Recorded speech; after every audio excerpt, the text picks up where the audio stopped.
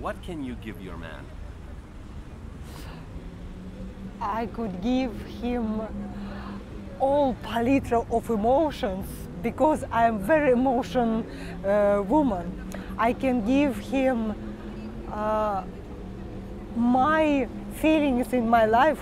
I know how to be happy, and I give him this, and uh, I take care of him like a woman, like, a, and I think I give him the best.